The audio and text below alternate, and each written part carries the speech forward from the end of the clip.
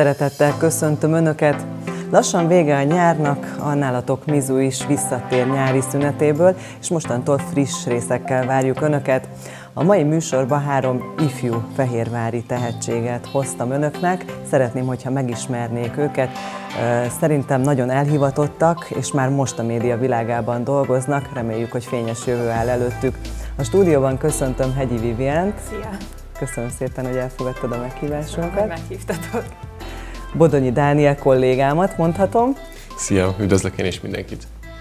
És Varga Zalán szintén kollégámat köszönhetem. Szia, szia, köszöntöm a nézőket. Köszönöm, hogy itt vagytok, és hát azt el kell mondanom, hogy az, annak az ötlete, hogy meghívjalak titeket, abból fakad, hogy itt a mellettem ülő fiatalember Zalán megihletett, ugyanis nagyon furcsa számomra az, illetve nagyon örömteli is egyben, hogy ilyen fiatalokkal vagyunk mi körülvéve. És mostanában egyébként, és ezt tényleg büszkén mondom, hogy mostanában nálunk nem nagyon fordult elő, hogy ennyire elhivatott fiatalok szeretnének jelentkezni, ilyen fiatalon, mint ti a médiába.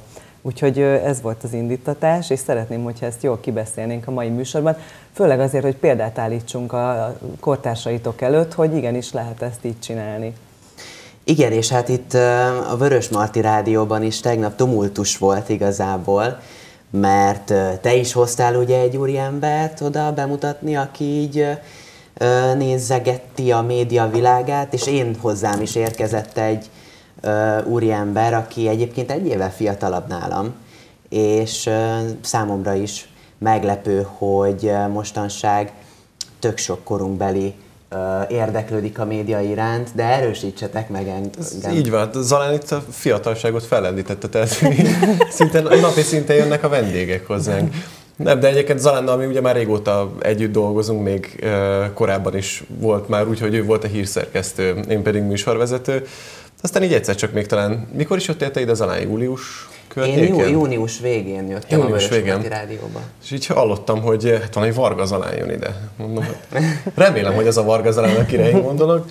És uh, egyébként tényleg azt vettem észre, hogy ha Zalán, de ebben Zalán nagyon sokat hozzátette ezt, hogy Zalán rengeteg fiatalt hozott ide, illetve én is amennyire lehet próbálkozom, hogyha van éppen lehetőség. Most nemrégiben Kis György kollégát helyettesítettem a Zeneturmixban, ott is egyik kedves barátomat hívtam be vendégnek, hogy beszélgessünk egy kicsit a, arról, hogy a mai fiatalok például hogy állnak hozzá a retro 80-as évekbeli szinti pop diszkó zenéhez. Uh-huh. És egyébként hogy állnak hozzá? Nagyon érdekes, mert egy olyan fajta nosztalgiát éreznek, amit valójában meg sem éltek. Ezt vettem észre. Uh-huh. És egy ilyen hogy mondjam, egy ilyen hangulat lett az egész, egy, egy mai világban átélhető hangulat lett ez a neonfényektől csillogó, rózsaszínes, lilás, fehér sportautóval megyünk végig a naplementében hangulat. Ez, ez így teljesen megfogta a fiatalokat, és el lehet nekik adni a 80-as éveket simente. Halhatatlan, ahogy Gyuri is mindig mondani szokta. Amúgy ez tök igaz, amit a Dani mond, hogy így hogy én is azt látom, hogy a mi generációnkban ez a zene, tényleg úgy, hogy én se értem a 80-as években, és mégis úgy érzem, hogy így vágyok oda-vissza. Uh-huh. És, és ezért szeretem, amikor a Dani például zenéket csinál, mert a Dani amúgy mindig ilyen zenéket így, így szokott így, így mutogatni, meg uh-huh. berakni, meg ilyenek, és az, az annyira, jó, annyira jól el tudott is találni mindig a, Hát meg, meg a, kell a ezt. flóját. Igen. Ezt, oh. Egyébként én is, hála Istennek úgy látom, hogy megtaláltam ezeket, de, de mindig nyitott vagyok egyébként mindenféle zenére, tehát most ha a 80-as évekről beszélünk, és most csak a szinti popot említettem, vagy az elektronikus zenét, de ott vannak a rock klasszikusok, azok, azok a legendás rockstárok, az igazi rockstárok, akik hát nem is tudom, hogy ma még mondhatjuk-e azt, hogy vannak igazán rockstárok, de ők azok voltak a 80-as években, és az ugyanúgy nekem hatalmas szerelem. Na jó, hát ezt majd mindjárt elmeséljük, hogy neked honnan ez a nagy zenei indítatás egyébként, de tény is való, hogy, hogy az, ez is már hozzátartozik a te egyéniségedhez, hogy ennyire széles látókörű vagy, de akkor kezdjük is veled. Picit beszéljünk arról, hogy egyáltalán ebbe az egész médiavilágba hogyan csöppentél bele egészen kicsi korodban, hiszen hát, hát ha elmondhatjuk a nézőknek, én szerintem mekkora korod óta ismerlek. Igen, körülbelül.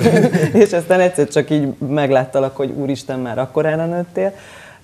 Hiszen ugye apukád itt dolgozik velünk, és jelenleg is ugye a pult másik felén ül. Így van. Úgyhogy innen is üdvözöljük Bodonyi Krisztiánt, aki a te édesapád, és hát ugye ő a hangmérnökünk, hangtechnikával foglalkozik, ugye szerintem tőle nagyon sokat tanultál, így Az főleg biztos. a zenét gondolom, akkor innen hozod. Édesanyád pedig, hát ugye a Kossuth Rádió kiváló műsorvezetője, tudósítója, Benkő Andrea, ő is volt már itt nálunk vendég is, úgyhogy hát volt honnan örökölni ezt a tehetséget és ezt a fajta indítatást. Pontosan, tehát én, mi, ami, amióta megszülettem, hullámformákat látok mindenhol igazából. És szivacsos a szobát fala egyébként? Most már igen. Tehát nem mindenhol. Elég nagy szobáról beszélünk ahhoz, hogy ezt rendesen be lehessen úgy szivacsozni, hogy jól is szóljon, de bizony az akusztika miatt itt volt az ideje már egy kicsit szivacsozni a, a helyet.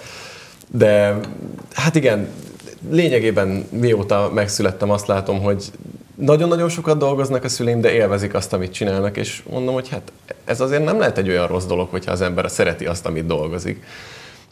Éppen ezért én is. Ja, meg hát ugye jött a zeneszeretet. Édesapám elképesztően sok rockzenét hallgatott 80-as években, mind magyar, mind külföldi. Ö, 80-as, 90-es évek környéki zenékről beszélünk, és ez így rám ragadt gyerekkoromban. Ja, meg elképesztően sok rádiót hallgattunk. Szint úgy rám ragadt nagyon-nagyon-nagyon sok minden. És nyilvánvalóan ele, ele- eleinte rocker voltam, mindig ezt mondták nekem, ilyen 7-8 éves koromig csak kizárólag rockzene. Aztán így elkezdtem, amint meglett az első számítógépem, elkezdtem nyitni minden másfele is. De most itt tényleg konkrétan értem azt, hogy a minden más. Tehát a 90-es évek ö, magyar zenéitől kezdve, tehát álomhajó, dübörög a ház, stb. Egészen még a mulatósig is. És hát ennek édesapám nem mindig örült, mondta, hogy inkább maradtam volna a rocknál. De, de egyértelmű volt, hogy, hogy elképesztően beleszerettem a zenébe, és egy olyan érzésbe, hogyha találok egy zenét, ami tetszik, én azt szeretnék azzal valamit kezdeni, én azt meg akarom másnak mutatni, át akarom neki adni ezt a jó érzést, amit én érzek iránta, és gondoltam, hát akkor kombináljuk a kettőt. Édesanyám nagyon szeret műsort vezetni, meg rádiózni. Hol lehet zenét bemutatni? Hát a rádióba. Akkor kezdjünk el rádiózni, és így kezdtem el annak idején az iskola rádiót, még általános iskolában, hetedik osztályos koromban. És azóta nincs megállás. Tehát az, azóta mindig val- vala, valami rádió van, de még a gondolataimban is állandóan. Erről mesélj egy picit, mert hát azért nem minden gyereknek jön egy ilyen lehetőség, meg nem tudom, most már a ti korosztályotok sajnos, hogy azt kell, hogy mondjam, hogy kicsit más, mint a miénk volt, de nekünk például nem nagyon volt lehetőségünk ilyenekre, hogy, hogy általános iskolában mondjuk egy rádiót csináljunk. Bekopogtattál, hogy én szeretnék ebben részt venni? Körülbelül pontosan így történt. Volt egy srác, aki csinálta előttem, de ő elballagott. Én meg oda mentem az igazgatónőhöz, hogy hát a suli rádió az egy nagyon jó dolog volt, és hogy én szeretném folytatni. Mondta igazgatónő, jó, jó, hát vannak kis technikai akadályok, mert éppen akkor ment tönkre az egyik erősítő, de ha meg lesz csinálva, akkor onnantól igazából heti két alkalom, 15 perces szünetekben lehet csinálni. És végül miután meglettek a technikai dolgok, utána neki is kezdtem a műsorgyártásnak. Nem mondom, hogy könnyen ment, nyilván az a korosztály a legkritikusabb a, a zenék iránt, tehát amikor jöttek mindig csapkodni az ajtót, hogy na, ezt ne ezt játszad, ne ezt játszad. De egy idő után eltaláltuk azt, hogy igazából mi is az, ami, ami szükséges. Volt egy barátom, akit mindig beültettem a pultba, technikai munkatársnak, meg hát egyébként is ugye mentünk hangosítgatni, tehát ez volt a másik dolog, amikor, amikor zenét tudtam mutatni az embereknek, hogy két rendezvény között valamit a háttérbe toljunk zenét, akkor általában én tettem, és igazából ez a mai napig így van, egyszer rádiózok, egyszer meg hangosítok, és, és így, így mindenképpen, tehát egyszerűen ezt a mai napig nem tudom elfelejteni, azt, a, azt az első olyan érzést, hogy úristen, ezt meg akarom mutatni valakinek ezt a zenét, és ez a mai napig, mai napig így van. Mert hát végül is a zene az, az erősen a kultúránk része, és mindig is az volt, és az is lesz, és a kultúrát pedig terjeszteni kell minél szélesebb körben. Akkor ez egy küldetés is. Így van, én ezt egy, egyértelműen küldetésemnek tartom, illetve azt, hogy a kereskedelmi rádiózásnak a megítélését egy kicsit följebb tudjam hozni. Nagyon sokan szídják azt, hogy hát a kereskedelmi rádiózás nem rádiózás, zene egy-két reklám között igazából időkitöltés szempontjából nem. Igenis lehet a kereskedelmi rádiózást is olyan színvonalon és olyan minőségben csinálni szerintem, hogy tehát zenét prezentálni az embereknek, hogy az, az igenis, igenis a kultúra szerves része legyen a mai napig is. Uh-huh. Jó, akkor most csináljuk azt, hogy azért, hogy a többiek is szóhoz jussanak, mert hát nagyon jó beszélőkével vagy te is megáldva, és mindegyőtök, hogy szedjük szét akkor, mert hogy mindegyőtöknek az indítatására lennék kíváncsi, de aztán ugye mindhármótokat a Láncos Kornél Gimnázium köt össze, úgyhogy majd onnan folytatjuk mindegyőtöket, de most akkor a Vivinek az indítatására is kíváncsi lennék. Tehát hogy, a láncosig. Hogy, hogy igen, hogy igen, igen, hogy te neked például az, hogy a kommunikációval szeretnél foglalkozni, vagy a média világában, az honnan jön? Igazából szerintem én onnan, hogy megszülettem, én folyamatosan beszéltem, de így sokat. Nagyon-nagyon sokat. És az mondjuk nem baj ebben a szakmában. Hát ebben a szakmában nem. A szüleimet meg lehet kérdezni, hogy mennyire volt ez így oké, de amúgy mellette meg tök jól el voltam egyedül is mindig, de, de nagyon sokat beszéltem mindig. És, és én, mi is nagyon sokat hallgattunk rádiót, meg, meg néztük a tévét folyamatosan, tehát nekem így a tévé is megmaradt, hogy úristen, én, tehát hogy nekem még vannak így olyan műsorok, amik most már retrónak számítanak, tök furcsára beszéltünk, a hőálló megálló például. Na például. Jézusom, és én mindig azt néztem, hogy úristen, én bevezetném a hőálló megállót.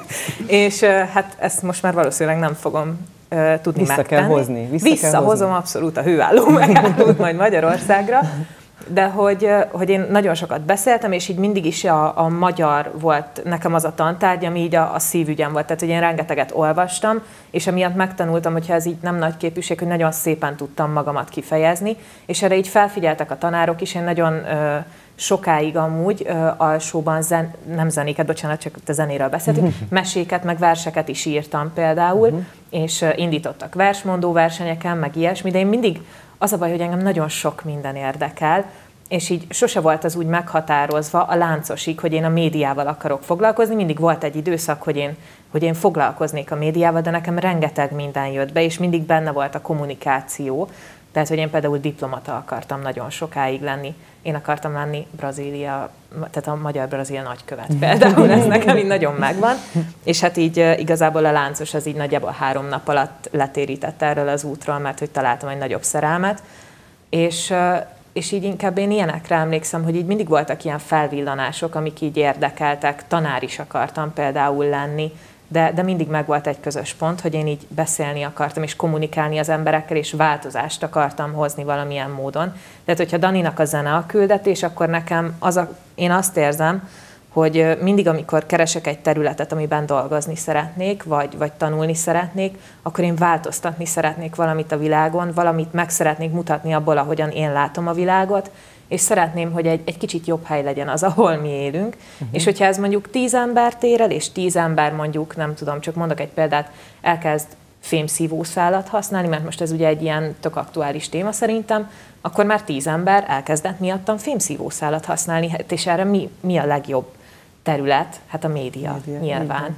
Meg hát jól is érzem magam benne, úgyhogy az is nekem nagyon így, fontos. Igen, nekem ez volt így a, a, az indítatásom, hogy én így kommunikálni akartam az emberek felé, de, de nekem tényleg soha, sosem volt egy ilyen nagyon specifikus utam, hogy a zene vagy a rádió, hanem így, így először így mindent akartam csinálni egy kicsit, és utána ez így beállt 15 éves koromban, de azóta nem engedem el. Úgyhogy nekem így nagyjából ez a kezdés az életemben. Nagyon helyes. Na és nálad Zalán, hogy jött?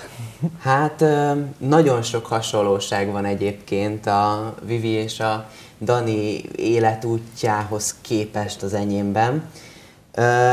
Az enyém úgy, az én médiás érdeklődésem igazából úgy kezdődött, hogy négy-öt éves koromban én még se írni, se olvasni nem tudtam, de rádiót hallgattunk. És, és akkor én nekem már akkor is a hírek volt az, amit mindig a hírekre kapcsoltam oda. Engem a zene annyira nem érdekelt, inkább mindig csak a híreket hallgattuk meg, és, és akkor mindig a szüleimet megkértem, hogy akkor most írjuk fel, hogy most akkor a mai napon délelőtt ő meg ő olvasta a híreket. És akkor, és akkor ezt így ö, szüleimmel közösen vezettük, hogy akkor mikor ki a hírszerkesztő. És, és akkor utána most egy nagy ugrás következik, mert én ilyen 5 és 12 éves korom között úgy nem volt semmilyen kapcsolatom úgymond a médiával, viszont 12 éves koromban ez így berobbant az egész, mert akkor valahogy, már nem is emlékszem, hogy pontosan hogy, de összehavárkodtam a Patakizitával, az időjárás jelentővel, és akkor ő bevitt engem a nagy tévécsatornába, és ott körbevezetett, akkor még zöld hátteres híradó volt, betolhattam a híradós asztalt, vezethettem ott híradót, és én akkor, akkor szerettem vele teljes mértékben a médiába, és, és akkor én is otthonra elkezdtem beszerezni zöld lepedőt, kamerával fölvettem a, a híradót, híradót írtam, mindent, amit csak el tudsz képzelni, és, és egyébként azok még meg is vannak a mai napig azok a felvételek. Igaz, nem vagyok rá büszke, de, de így, így indult a, az egész karrierem. És, és akkor utána 2016-ban egy nagy országos rádióhoz tette, országos rádiónál tettem látogatást, és hát az, az volt nekem ott a úgymond utolsó csepp a pohárban, akkor én beszereztem az első mikrofonomat otthonra, elkezdtem híreket csinálni, gyakorolgatni, és ez odáig jutott, hogy én 2018-ban kaptam lehetőséget egy online rádiónál itt Fehérváron, és, és ott kezdődött igazából 14 éves koromban ez a hírszerkesztői, hírolvasói pályafutásom. Itt most egy pillanat rájunk is meg, mert azért azt el kell, hogy mondjam a nézőknek, hogy a, ugye emlegetted ezt a videófelvételt, amire nem vagy annyira büszke, hát szerintem meg egyébként büszke lehetsz rá, mert ennyi idősen nem sok mindenki készít ilyeneket, tehát én nem láttam még ilyet egyébként, amikor én nem is tudom, egy hónapja, hogy találkoztunk először, de tényleg én tátott szájjal néztem, mert a Zalán megmutatta azt a híradós videót, amit egyébként szerintem lassan már, már megirigyelne, nem mi, természetesen mi nem, de azt nem mondhatom, de hogy tényleg irigyésre mértó az az arculat, amit te kitaláltál, az, ahogy te ott a híreket összeszedted Fehérvárról, ahogy elmondtad, stb. stb. És azt is el kell mondjam a nézőknek, hogy aztán mi próbálkoztunk, ugye, és eljöttél ugye velünk picit egy-két helyre ugye megnézni a forgatásokat, stb. És hát ült a Zalán már a, a híradós háttérben is, és azt kell, hogy mondjam, hogy én örülök és szurkolok, hogy legyen végre utánpótlásunk. Úgyhogy profi a Zalán egyébként ebben is.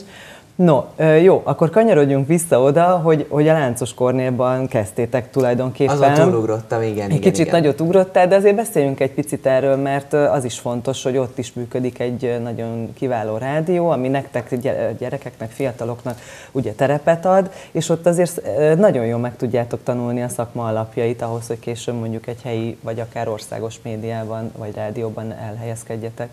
Dani? Igen, ez egyértelműen így van, és igazából az iskola rádióhoz képest, illetve amit ott én kitapasztaltam teljes mértékben, igazából a sötétségben tapogató, hogy valami ilyet kéne talán csinálni ez a rádiózás, na az teljes mértékben felülírta az, amikor elkezdtem a, a Táska Rádiónál dolgozni.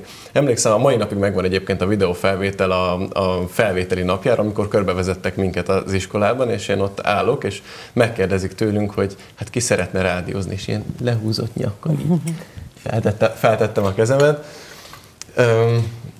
Egyik barátommal, Hanti Mártonnal az első napoktól legjobb barátok voltunk, és eldöntötte ő is, hogy ő is rádiózni szeretne. És egyik nap felmentünk, hogy hát van-e itt valami dolog, amit tudnánk csinálni. És akkor hát végül is volna.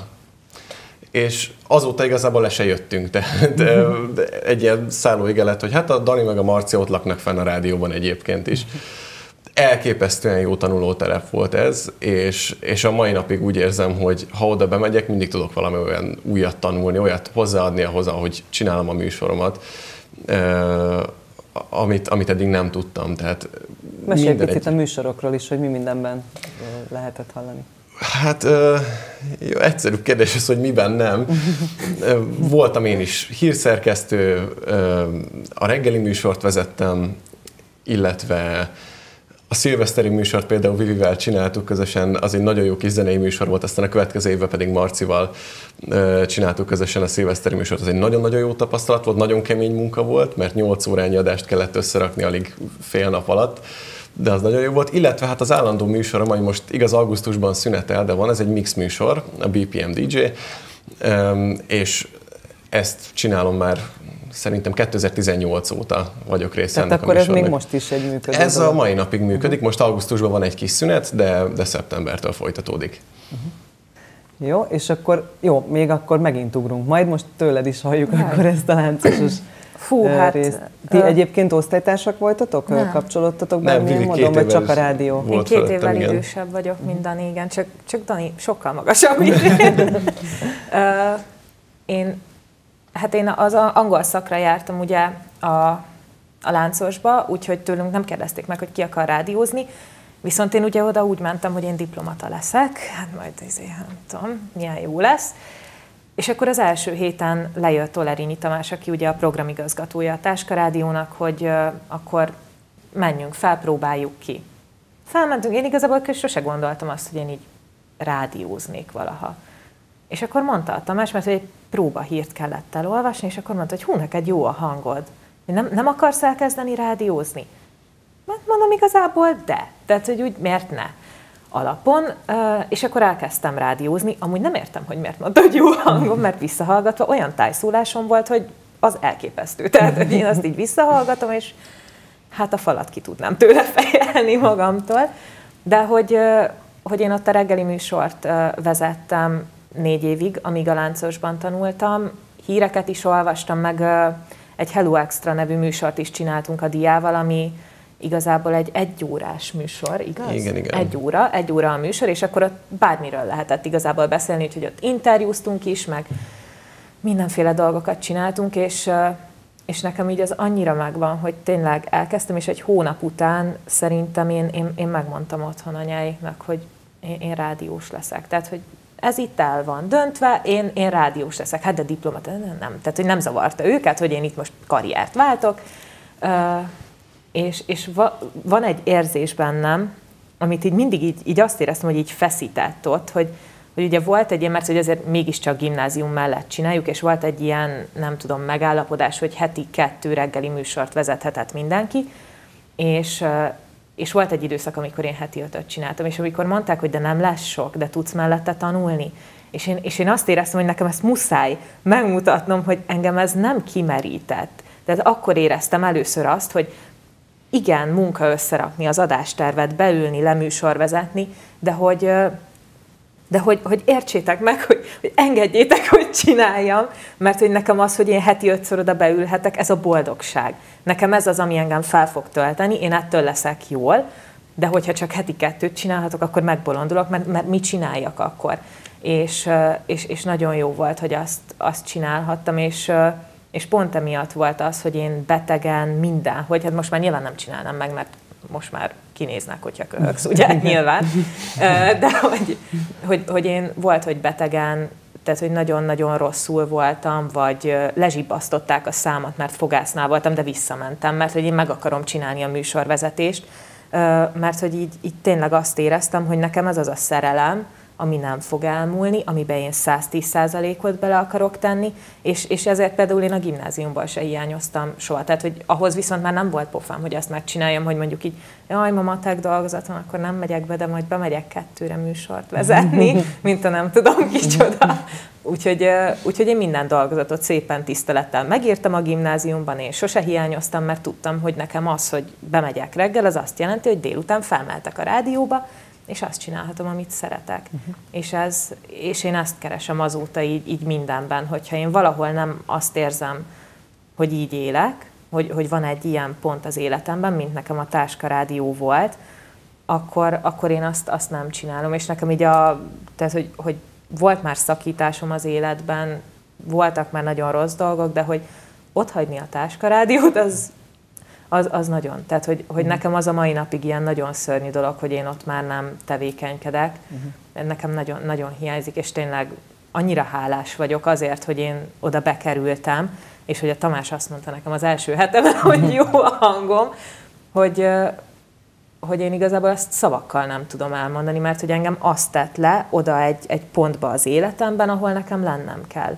És szerintem ezt már többen is átélték így, uh-huh. Zalán is bólogatnak. Igen, ez ez, ez könnyen egy életmóddá válik igen. egyébként, Igen. amikor az ember rádiózik. Igen, de hogy, hogy amit még így a Dani is mondott, hogy így ők fent laktak a Marcival a rádióban, igen, amíg, amíg oda jártam, addig én is. Tehát, hogy addig a négy Igen. év alatt mi, mi egy ilyen kis család voltunk amúgy. Ez- Pontosan. Hát sajnos nem volt négy év, ugye, mert hogy két évvel idősebb vagyok, de, de azt én nagyon szerettem, mert hogy itt tényleg az volt, hogy nem csak az volt, hogy rádiózni jártunk oda fel, hanem így, hanem így tényleg az lett, hogy, hogy akikkel ott együtt dolgoztunk, ugye Tamás lett az apukánk, Dia lett az anyukánk, akkor én nem tudom, hogy milyen furcsa módon, de hogy ti a gyerekeim voltatok. Úgyhogy egy kicsit hát, furcsa család, család volt, de, de hogy itt tényleg az volt, hogy, hogy abban a négy évben a rádió az így a, az életem. Tehát nem a hobbim, meg nem a munkám, hanem így az, az életem. Uh-huh. És tudtuk, hogyha van valamelyikünknek bármi baja, Dani is látta már így az, az arcomból, hogyha rossz napom volt, meg ilyenek, de hogy szerintem nagyon durva volt az, ahogy mi ott gimnázium mellett így rezgésekre összehangolódtunk egymással ott a stábbal. Én ezt imádtam amúgy. Ez nagyon jó volt. Zalán nagyon bólogat. Én végig bólogattam az egészet, igen, mert teljesen egyetértek a Vivivel. Én ugye nem láncosos voltam, hanem én külsősként érkeztem oda a Táska Rádióba, és nekünk volt egy casting, ami részt kellett venni, ahol, uh, ahol megnézték, hogy igazából van-e tehetségünk hozzá, és, és én már ott rögtön kiakasztottam a, a Tamásékat, mert én, mert én azt mondtam, hogy én műsort nem fogok vezetni, én csak híreket fogok csinálni. és aztán a vége az lett, hogy, hogy ugye volt egy ilyen vizsgaműsor, azt még megcsináltam, aztán utána, utána belevetettem magam ott is a hírek világába, és ott teljesen másmilyen egyébként a, a hírezés, mint egy rendes rádióban, mert mi ott általában ilyen bulvár híreket mondunk, vagy ilyen színes érdekességeket. De tök jó tapasztalat volt, mert, mert olyat még nem csináltam soha, és, és az alapokat meg tudtad Az alapokat tanulni? meg tudtam tanulni, igen. És, és én, ha jól emlékszem, akkor nagyjából egy, egy-másfél évet töltöttem csak ott a rádiónál, de egy hatalmas nagy él- élmény volt. Megismerni a diát, a Tamást, együtt dolgozni velük, ti, veletek együtt dolgozni. Ö, nagyon jó volt. És én igazából ott, ott nőttem fel, mert ott mutáltam, Vég, vég, vég, nekem megvan otthon végig a gépemen, az első hírszerkesztésemtől az utolsóig, és hétről hétre más a hangom. De tényleg, egyre, egyre mélyebb. Úgyhogy ez nekem egy örök élmény maradt. No, hát és akkor még egy picit férfiasodsz, mondjuk egy ilyen 22-23 éves korodra, szerintem elérünk odáig, hogy végre a híradóba is jöhetsz hozzánk. No, egyébként emellett, hogy ennyit dolgoztatok már diákként, milyen tanulók voltatok vagy? Ő, hozzám Igen, szólt a kérdés? voltatok és vagy. hát én elmondhatom, hogy nagyon szerencsés vagyok itt tanulás szempontjából, bár magolni nem tudok.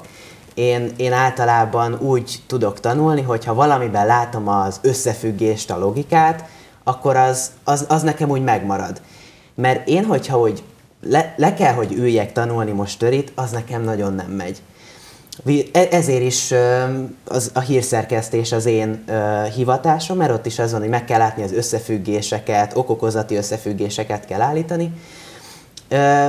De szerencsére gimiben is tök jól megy a tanulás, mert tizedik év végén életemben először kitűnő lettem, Úgyhogy hmm. szerencsére sikerült úgy összehangolnom a, a rádiózást a, a tanulással, hogy ez nem, nem ment a tanulás Azért elmondhatjuk, hogy a tópartiba jársz. A tópartiba járok, igen. Ott is azért le kell tenni ugye a munka meg ilyenek mellett a, az eredményeket.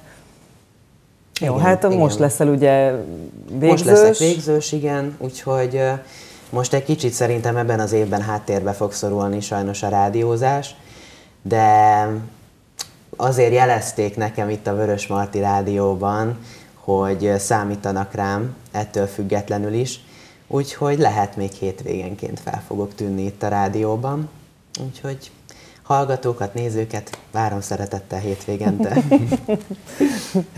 Nálad ez a tanulmányi eredmény rovására mente? Ez nem, a rádiózás? nem, nem a rádiózás ment a tanulmányi eredményeim rovására én, én világéletemben amúgy olyan voltam, hogy ami érdekelt, azt megtanultam. De azt nem is kellett tanulnom. Tehát, hogy úgy, én például tényleg magyarból voltam nagyon erős, ö, ott én nagyon sokat is olvastam, tehát, hogy például én 12. év végére én, én, én magyar emelteztem például, szóval nem voltam rossz tanuló, A matek a gyenge pontom, ezt, ezt be kell, hogy valljam. Ez hát sokunknak szerintem, tehát, hogy, ezzel hogy nem vagy én egyedül. Azt képviselem, a matek az olyan, mint a tesi, vagy van hozzáadottságod, vagy nincs, nekem nincs. Uh, ettől függetlenül tudom, hogy ha egy kicsit több időt belefektettem volna, akkor tanár úr, innen is üzenem, valószínűleg meg lett volna jobbakra az a jegy, ugye, mind a ketten tudjuk, mire gondolok, de tehát, hogy úgy alapvetően sose voltam olyan nagyon-nagyon rossz tanuló, mert nyilván akkor lettek volna ennek így következményei. Én, én matekból kétszer évvégén buktam, pótvizsgán mentem át, ez 9 és 10 de nem a rádió miatt, egyszerűen tényleg, ha valami nem érdekel, akkor annak én nem tudok ugyanúgy nekiülni, hogy így, tehát, hogy hagyom vernek, se fogom tudni megtanulni, meg már így be is paráztam miatta, úgyhogy ott inkább ez volt a probléma, de, de alapvetően én mindig egy ilyen négyes átlag körül mozogtam, és ugye így ebben voltak néha ilyen, nem tudom, természettudományos tantárgyak, vagy ilyesmi, ami nem ment annyira, de a rádiózás az sosem ment a rovására. Egyszer talán azt éreztem, hogy, hogy nem is az, hogy a rovására megy, mert én tudtam, hogy nem, azért, nem azért nem megy a matek. Viszont akkor ott úgy éreztem, hogy ez így lehet, hogy nem lesz frankó, és akkor én 11. és 12-ben viszont már átmentem. Tehát akkor úgy azt mondtam, hogy jó, akkor hagyom, vernek is meg lesz a kettes év végén, és meg lett. És, és igazából így ki merem jelenteni, hogy, hogy nekem ez most így bőven elég az életemben. Ettől függetlenül amúgy, nem tudom, érdekelne egyszer, hogyha visszamehetnék az időben, lehet, hogy kipróbálnám, hogy milyen, amikor beleteszem a maximumot magamból a, a matekba, de de, de amúgy de tisztellek, hogy kitűnő voltál amúgy. Azért egy egyetemre fölvettek, és kint is volt hát, Skóciában igen. egy évet. Most már kettőre is felvettek, úgyhogy... A, az a másik, igen. csak azt még nem akartam Jaj, elárulni. Bocsánat, nem akartam elárulni. Tehát, hogy azért nem igen. volt olyan rossz, hogyha a, ha amúgy, fölvettek. Igen, nekem ugye az utolsó éven, az 11. nyarán találtam ki, milyen időben, hogy én akkor külföldre megyek egyetemre, és akkor ugye azért ott nagyon kemény felvételi követelmények vannak, tehát hogy ott a ott a nyelvvizsga az mindenképpen nemzetközileg elismert, ami nyilván 6 milliószor nehezebb, két emelt érettségi minimum, ugye akkor levelet írni, meg mind, tehát hogy olyan levelet, hogy őket nem csak az érdekli, hogy te össze tudsz hozni egy érettségit, mert hogy az megy, nem tudom, mindenkinek, hogyha ráfekszik, hanem kell egy levelet írni arról, hogy te mit tettél meg az elmúlt években azért, hogy te erre a szakra járhass. Akkor ugye itt tényleg az érettségiket azért elvárják egy bizonyos szintre, úgyhogy nekem a 12. az, az erről szólt nagyon keményen, hogy akkor azt hajtottam és tanultam, és, és angoloztam, meg, meg mindent csináltam, mert én Skóciába felvételiztem egyetemre, médiakommunikációra, viszont amellett se hagytam abba a rádiót. Nem, a, azt valahogy engem nem lehetett onnan kirobbantani. Na de Skóciából rádióztál? Nem, nem, nem, e, Vagy? nem, nem. Hát az érettségi évemben, amikor ez a felkészülés ja. ment így ja, úgy. tanulmányi szempontból, akkor így anyukám azért ott rákérdezett, hogy biztos, hogy menni fog? Hát most ment. Ment. Anya, nem, ment, de. Úgyhogy az, az ott egy kicsit így keményebb volt, de tehát, hogy abszolút, hogyha előttem van egy cél, akkor én azt teljesítem és, és onnan tudom, hogy szeretek valamit, vagy valakit, hogy azt a, tehát, hogy van a cél, és én azt még oda be fogom tudni tenni, és meg fogom csinálni, és nem fogom abba hagyni mellette, de, de meg lesz a cél. És ez eddig mindig sikerült, úgyhogy. És ez a Skóciában töltött év, ez milyen volt? Hú, kalandos amúgy, nagyon. Hát ugye ez úgy volt, hogy én 19 szeptemberében, hát augusztus közepén, pont két éve ilyenkor mentem ki nagyjából, és hát ugye a Covid ennek így egy elég hamar és nagyon csúnya véget vetett, de hogy én nem ezért jöttem ugye eredetileg haza, de egy nagyon izgalmas év volt, szóval teljesen mások ott kint az emberek, de mindenki ezt mondja el, aki kint volt külföldön, hogy teljesen mások az emberek, hát nyilván mások. De hogy amúgy kommunikáció szempontból is egy nagyon jó gyakorlat volt, hogyha már így ilyen kommunikációs dolgokról beszélünk, hogy én egy, hát egy ilyen franchise-nál voltam animátor szerepben kvázi, tehát hogy nekünk így el kellett játszani, ez ugye ez a nagy varázsló volt, és akkor nem mondtam ki a nevet, tehát hogyha ott bejöttek az emberek, akkor végigmutogatni a pálcákat, ki, mit tudom én milyen, tehát hogy, hogy napi 10 órában én ezt csináltam ott kint, és mellette jártam egyetemre, ami nagyon furcsa volt, hogy én itthon mindig azt hallottam, hogy az egyetemisták, hogy hát megszakadunk, hát beledöglünk az egyetembe. És akkor így kimentem, megkaptuk az órarendet, és így írtam is a tanáromnak, hogy hát ez most így jó, vagy hogy hiányos, vagy, vagy valamit még kell csinálnom. nem. Heti három nap az első fél évben, ami azt jelentett, hogy az a három nap is úgy nézett ki, hogy bementem, volt egy nagy előadás, és utána volt egy ilyen kisebb beszélgetés, mondjuk tíz embernek. És ez volt heti három napon, a második fél évben már csak heti kettő napon. És, és nagyon érdekes volt, és nagyon tapasztalt emberek tanítottak minket. Én ott kint próbáltam ezt a rádiós vonalat beindítani magamnak, mert hogy így hallottam, hogy így csiripálték a madarak, hogy van ott kint egy tanár, aki hát az egyik legnagyobb rádiónál dolgozott több mint 20 évig. Igen. És akkor én írtam neki egy e-mailt, kikerestem a honlapról az ő nevét, az e-mail címet, és akkor írtam, hogy szia, izé, Hegyi Vivian vagyok, és akkor így, hello. és akkor mondta, hogy hogy akkor hozzak demóanyagot, és akkor találkozzunk a nem tudom, az egyik előadóban. És vittem neki egy demóanyagot, hát magyarul, hát most olyan demóanyagom, hogy nem volt kint mikrofonom, és akkor ő, ő nekem mondta, hogy, hogy ő érzi a hangomon azt, hogy nekem ez a véremben van, hogy, hogy nem kell értenie, hogy mit mondok, ő érzi, hogy ez jó, hallja a hangomon, érzi a hanglejtéseket, és mondta, hogy akkor én kezdjek el egy ilyen local rádiónál dolgozni, mert ott kint rengeteg ilyen van, ilyen nagyon kicsike rádiók, és akkor majd uh, szépen, ha úgy van, akkor ő be tud engem ajánlani. Csak hát ugye Covid, uh, meg hát máshogy alakult az életem egy ilyen és akkor kénytelen voltál hazajönni? Igen, de én akartam is, tehát hogy így ez ilyen, én nem akarom ezt a Covid-re fogni, én, én haza is akartam jönni, tehát nekem volt egy ilyen elhatározásom mondjuk január közepén, hogy én hazaköltözök. Nem, nem tudtam megmagyarázni, hogy miért pontosan. Ilyen hülyeségeket találtam ki, de anyukám is kérdezte, hogy de miért. És akkor így mindig így ferdítettem valami, vagy de nekem itthon van dolgom, meg nem tudom, meg honvágy, meg ilyesmi, amúgy most meg oda van honvágyam, úgyhogy tök jó, sokkal előrébb vagyok. De, de valószínű, hogy visszahúzott a szíved. Hát akkor. valami, valamit és hát- éreztem, hát... hogy, hogy kell jönnöm, és akkor én, én be is adtam, ugye február 15 a felvina jelentkezés az egyetemekre. Igen, igen, igen, február 15. Valami olyasmi. És akkor én úgy voltam vele, hogy hát én úgyis a 12. év végén a jelentkezésemet, mikor már így kezdett fix lenni, hogy akkor én kintre fogok egyetemre járni, akkor én megváltoztattam gyorsan a sorrendet, beírtam, hogy orvosit, meg ilyeneket, csak just for fun, hogy így meg, megnézem, milyen kántor, meg ilyeneknek jelentkeztem. és akkor úgy voltam vele, hogy jó, csináljuk végig egyszer ezt a magyar jelentkezést tisztességesen úgy, ahogy annak rendje és módja van, és akkor én beírtam a februárban, hogy akkor Színművészeti Egyetem televíziós műsorkészítő, ELTE mozgóképkészítés, meg, meg beírtam még valamit. Az SZF-én szerintem a fizetőset is, azt nyilván azt nem annyira akartam. és akkor hát így szépen ott akkor így haladtak a dolgok, közben hazaköltöztem, és akkor hát ugye az SZF-én több fordulós a felvételi, és akkor így hát ugye a Covid miatt ott filmet kellett csinálni, és akkor jött az értesítés, az első forduló tovább jutott, mondom, de durva. és akkor a második forduló, hát mondom, most már élesedik a szituáció, akkor ugye azért már úgy ott van az emberben az, hogy több százan jelentkeznek egy, erre a szakra, és akkor én most már a harmadik fordulóba fogok bejutni. És akkor már így nyilván én, én úgy álltam az egyet elsőre nem vesznek fel senkit az eszefére, biztos, hogy nem. De azért ott már ott, ott volt bennem, hogy azért én szeretnék ide bekerülni. És akkor a harmadik forduló után, amikor megjött az a levél, hogy nem, hát ugye nem levelet kaptunk, hanem felhívott az osztályfőnököm 9 órakor, én még aludtam, visszahívtam, és akkor így beleszóltam, hogy szia, és azt hittem, hogy az egyik ismerősöm az a, a János. és akkor így mondta, jó reggelt, Vivian, nem mondom, hülyéskedsz velem, szia, hello. és akkor így mondta, hogy hát én vagyok az, hogy tudja, hogy ki vagyok. Hú, mondom, most már igen. Igen, most hát tudom.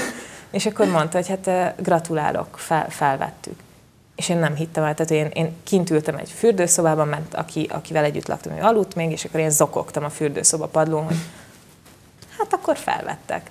És akkor én ki is iratkoztam azonnal a kinti egyetememről, hogy akkor én száz százalékban az SZF-ére fogok fókuszálni, mert hogy gondoltam, hogy itt nem heti három napot kell majd bemenni.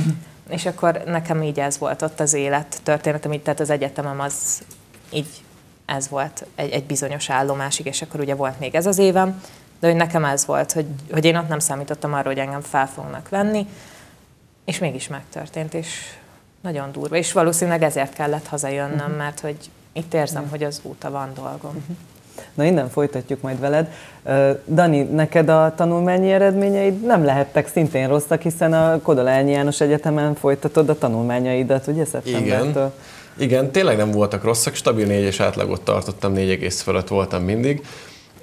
Nagyon jó is, hogy felkerült ez a téma, mert ez is kapcsolódik a rádiózáshoz, hogy amikor az ember például a táskarádióhoz kapcsolódik. Én nem csak mint műsorvezető technikus tanultam meg a dolgokat, hanem kommunikálni tanultam meg, és ez elképesztően jól tudott jönni. Tehát én most lehet, hogy a fiatalok körében nem fog leszek túl népszerű, de én elképesztően imádtam szóban felelni. Tehát az, az valami elképesztő jó érzés volt, amikor ki lehetett találni, hogy hogy fogom előadni a tárgyat. Mert nyilvánvalóan kellett egy alapvető tudás ehhez, de nem kell. Én soha nem tudtam bemagolni a dolgokat, nem is hiszek abba, hogy hogy magolással elő lehet valamit adni, de hogyha van egy, egy alapvető tudásom, és azt megtanulom előadni, az egy az, hogy elképesztően szórakoztató, kettő az, hogy általában sikeres is, és a tanárok is szívesebben veszik, és kevésbé néznek csúnyán, hogyha valamit rosszul mondok, vagy valamit, valamit hibázok. Például volt egy szóbeli matek felületünk uh, tizedik év végén, ez ugye mindenkinek kötelező volt, én el nem hittem, hogy négy ötödöt kaptam rá, mert hát matekból én sem voltam a legerősebb, mondjuk ki őszintén, volt azért, hogyha nagyon megerőltettem magamat, akkor azért, azért ment, de, de, de nem volt a legerősebb pontom, és, és szóbeli matek felelet volt, és azt vettem észre, hogy amikor beültem, nem izgultam. És ez furcsa volt. Ez volt az, ami a legjobban zavart, és emiatt kezdtem el izgulni, hogy nem izgulok az egész miatt, és ez így nagyon furcsa. És uh, egyébként teljesen, hála Istennek mondjuk szerencsére jó tételeket húztam, kettőt kellett előadni, de, de, de négy ötöd lett, úgyhogy arra, arra mai napig büszke vagyok igazából. Akkor szóval ezek szerint kidumáltad. Igen, igen, igen. Nyilvánvalóan mondom, tehát alapvető tudás nélkül nem lehet oda menni, hogy, hogy most csak kibeszéljük az egészet, valamit tudni kell azért a témáról, sőt nem is keveset. Tehát arról lehet szabadon beszélni, amit tudunk. Annyi, hogy a legvégsőbb részletekig azért nem biztos, hogy tudtam volna fejből. Tehát nem, nem bemagoltam a pontos egész valamennyi adatokat, hanem, hanem, hanem tudtam, hogy miről beszélek. És ezt elő tudtam adni. Nagyon fogy az időnk a műsorból, és még nagyon sok mindenről szeretnék veletek beszélni, úgyhogy fussunk végig akkor azon, hogy a jelen helyzetben mivel foglalkoztok, mit csináltok, egy kicsit a te helyzetedről is, a rádióról, mind a két esetben, és akkor uh, kezdjük veled, Zalán. Hát én jelenleg itt dolgozom a Fehérvár Média Centrumban, azon belül is a Vörös Marti Rádióban, mint hírszerkesztő. És ez számomra egy hatalmas nagy megtiszteltetés volt, hogy, hogy én ide kerülhettem a rádióhoz, mert valljuk be őszintén nem sok 17 évesre mernek rábízni egy ekkora felelősséget, és szerintem ez a, ez a legnagyobb, hogy mondjam, gyümölcse annak a több évnek, amit én ezzel otthon tanulgatással, gyakorolgatással töltöttem, és Romhány Anikó és Regős Dóri főszerkesztőnk bizalmat adott nekem, és, és úgy tűnik, hogy én iskolaidőben is itt fogok maradni, és gyártom a, a híreket a hallgatók hatalmas örömére. Ennek és... is nagyon örülünk, itt a kollégák egyébként, azt el kell, hogy áruljam és abban is nagyon bízunk, hogy majd egyszer lehet, hogy a híradóban is én szeretnélek azért átsábítani ide hozzánk. E- ez, ezt már jó ideje mondogatod nekem, ez egy ilyen... Hát igen, mert hát van hozzá tehetséget. Tehát, na, látszik az, hogy, hogy ugye, hogyha hírt szerkesztetél a rádióban, azért ez a tévében is ugyanúgy meg tudja állni a helyét. Lehet, hogy egy kicsit más a műfaj, de ugyanúgy bele tudsz szokni. És ha jól a, tudom, a akkor... jól kell kinézni. Ne? A rádióba bemehetek úgy, hogy... Az mondjuk biztos. Zolán is nem nézel de... ki jól. hát... Na, azért. Most, most, Látnak ki, most kivételesen. Probléma nincsen. Egyébként azt azért veled kapcsolatban hadd mondjam el, most itt tartom az önéletrajzodat a kezemben, és van neked weboldalad is, elképesztő, tehát ezt a nézőknek mondom, elképesztő, hogy egy 17 éves fiúnak van weboldala, és nagyon komoly weboldala van, és öltönnyakendőben, alázattal, lefotózva, gyönyörű képek vannak egyébként, én nekem nagyon tetszett, és hát egy, egy, egy igazi portfólió, tehát demók vannak, minden van, nagyon-nagyon gratulálok ehhez egyébként. És hogyha megengeded, remélem nem haragszol meg, hogy a motivációs leveledből egy nagyon picit felolvasok, mert annyira, Annyira tetszett, megengeded? Megengedem, persze. hogy ezt, ezt elolvastam ma, és azt is mutatni szeretném itt a kollégák, kollégáknak is, meg a nézőknek is, hogy ilyen hosszú motivációs levele van, tehát van mondani valója, és nekem ezért is bámulatra méltó. Van, van célom, igen, igen, a hírszerkesztésben is. Az a vége a mondat, vagy hát a motivációs levélnek, hogy ha nincs is jó kedvem, hírolvasás közben a hallgató akkor sem hallhatja, hogy gondterhelt vagy szomorú vagyok. Bár ez kevésszer fordul elő, ugyanis a hírolvasás mindig jó kedvre derít. Nagyon aranyos. Szerintem aranyos. egyébként én vagyok az egyetlen, mert nem sok korombeli van, aki tényleg a hírek ennyire mhm. vonzanának, Igen. mint engem. De én valamiért nekem ez, ez a hivatásom. Igen, Úgyhogy én ezt, ezt, ezt szeretném és, továbbiakban is csinálni. És még írtál oda egy olyat, hogy KISS, egy ilyen rövidítés, Keep it smile stupid. Én így állok hozzá minden nap a munkához.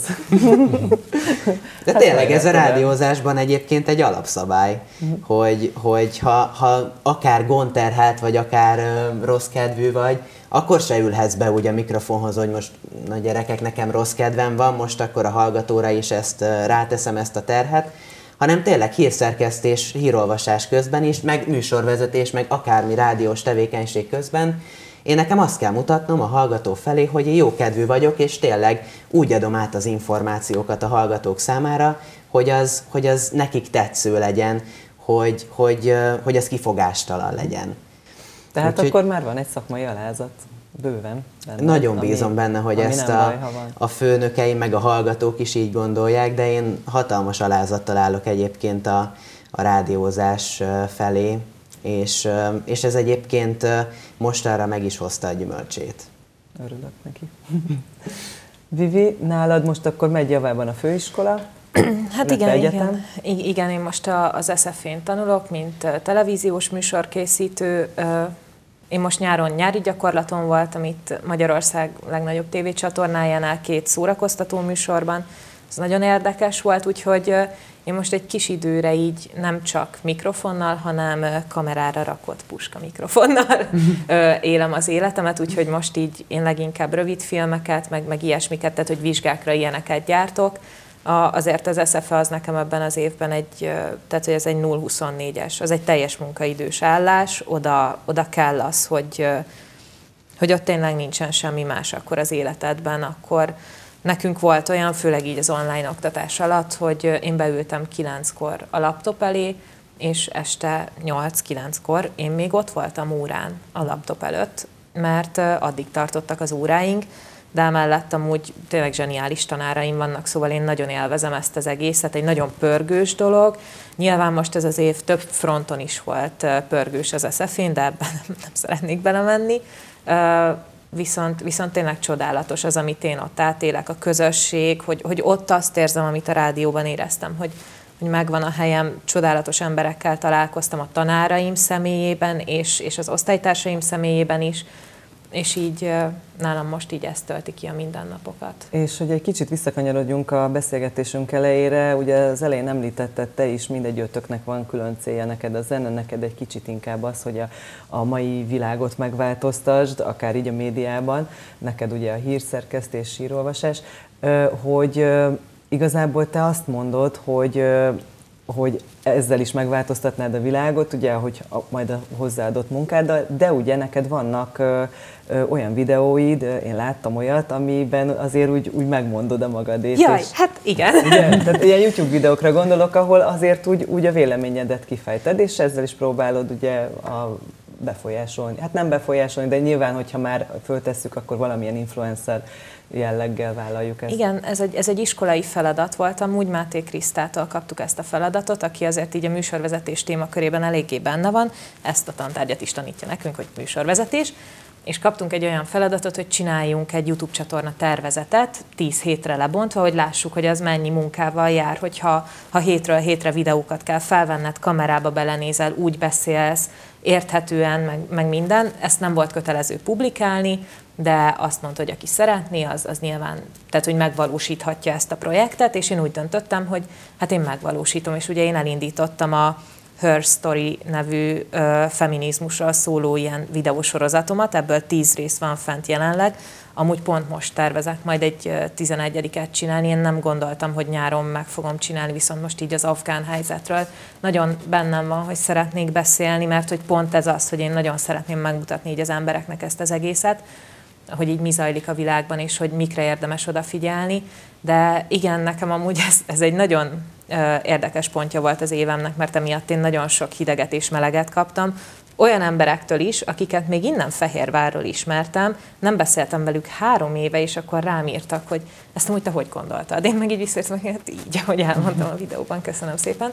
De amúgy mindig tök értelmesen meg lehetett, az esetek nagy részében nagyon értelmesen meg lehetett ezt az egészet vitatni. De, ez... De szerintem ez egyébként így is van rendjén. Igen. Ez Ma egy már a világ erre fele halad, hogy elmond, van erre terep, ahol elmondhatjuk a véleményünket. Hát, Úgyhogy főleg, hogyha fel ilyen, videót, ugye ez igen, ezzel jár. meg hogyha ilyen tehetséggel vagy megállva, hogy van hozzá egy jó beszélőkéd, akkor ez pluszban jó. Dani, te pedig itt a rádióban vagy hát most ezt az egyetem mellett hogy fogod csinálni? Úgy, hogy hála Istennek olyan munkám van, amit nagy részt lehet otthonról is csinálni. Ugye én a technikai részében vagyok benne nagyon a dolgoknak, Horváth Miklóssal együtt próbáljuk úgymond a, a Vörös Marti Rádió hajóját kormányozni, hogy, hogy így egyben legyen az egész. Én nagyrészt szignálgyártással foglalkozom, amikor 2020-ban újraindult a rádió, akkor a szignálparkkal engem bíztak meg. Ez nagyon nagy megtiszteltetés volt egyébként, hogy én csak bevittem a kis demo hír alá festő zenémet, hogy hát hallgassuk meg, ez végül is, erre nem kell most keresni, hogy ki volt az eredeti szerző, stb. Ez, ez itt van kész, és ezt lehet használni. És akkor Romhány Janikó mondta, hogy hát akkor meg tudnám esetleg alkotni. Mondtam, hogy igen. Úgyhogy csináltam még előtte nagyon ilyet, csináltam szignálokat, de nem sok mindent. És, és azóta is a rádió arculati elemeivel én foglalkozom, illetve hát technikailag, hogyha valami történik, akkor Miklós felhív, és ha hajnali egykor történik valami, akkor hajnali egykor nekiállunk megoldani, de hála Istennek általában napközben van rá idő, de, de együtt remek dolgokat viteleztünk eddig ki, és most is van egy csomó olyan projekt és ötlet, amit majd így a rádióban meg akarunk valósítani. Nekem most jelenleg ez így a, a jelen. Hál' Istennek én hozzáteszem. Hát nagyon szépen köszönöm, hogy itt voltatok. Szerintem a nézőknek azt mondtam a műsor elején, hogy elhivatott fiatalokról beszélünk, és őket szerettük volna bemutatni. Remélem, hogy sikerült is. Az elhivatottság az mindenképpen látszik rajtatok, meg az alázat mindenképpen a munkátok iránt, illetve hát a jövőtök iránt. Úgyhogy én sok sikert kívánok nektek, és kívánom, hogy legyenek utánatok még hasonló fiatalok. Remélem, hogy sokaknak adtatok most ezzel egy nagy lendületet, hogy merjenek lépni és vállalni ilyen fiatalon is hasonló szerepeket. Köszönöm szépen, hogy itt voltatok. Köszönjük, Köszönjük. szépen. Önöknek pedig köszönjük a figyelmet, tartsanak velünk legközelebb is, viszontlátásra!